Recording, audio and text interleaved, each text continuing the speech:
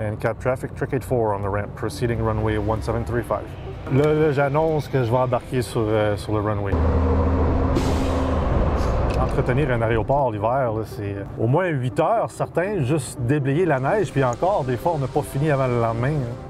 Je m'occupe de la maintenance ici à l'aéroport de Capscasing depuis novembre 2019.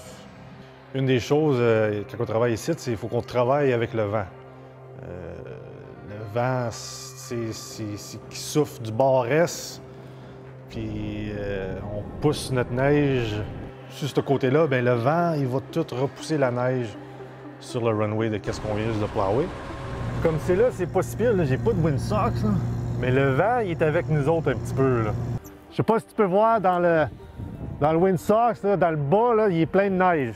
Ça vient pesant, le bas, il veut plus trop trop travailler dans le vent, puis on peut déchirer le bas. Tu as vu un matin, là, c'est, euh, on a été vider le bas. Des fois, il faut que tu tapes dessus. Et voilà, c'est fait.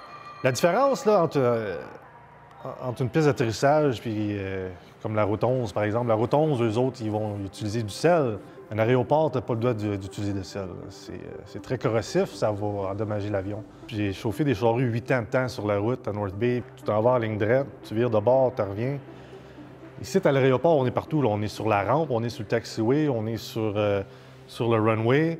Euh, on a les lumières qu'il faut qu'on fasse du slalom entre les lumières puis pas les casser.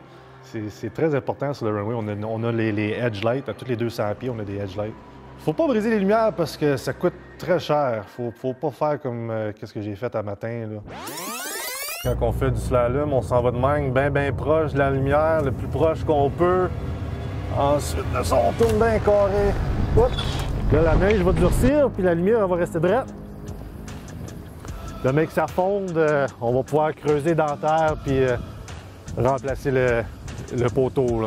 On est call une semaine euh, sur trois.